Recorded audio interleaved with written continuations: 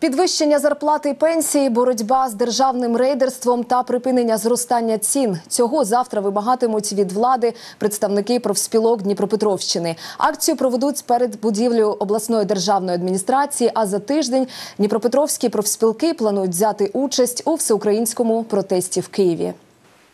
Речь идет о всеукраинской акции протеста профсоюзов против антисоциальной политики правительства.